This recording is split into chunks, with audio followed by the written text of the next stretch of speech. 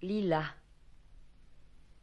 Mettons en thèse un bruit de rucher, dans son office un verger chutant, le chaume au dos des chaises juchées, la noire graine qu'est tout temps.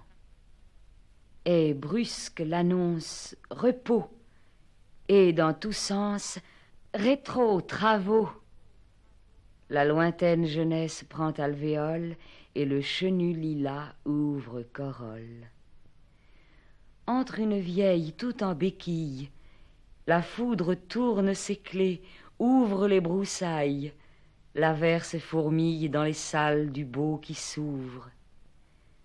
Pour remplir la voûte, un charroi est trop juste charge d'orage.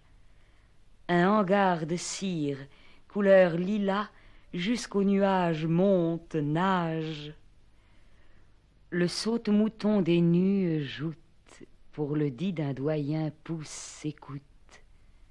Les lilas dans un plat, c'est de toute urgence qu'on les couche, qu'ils s'égouttent.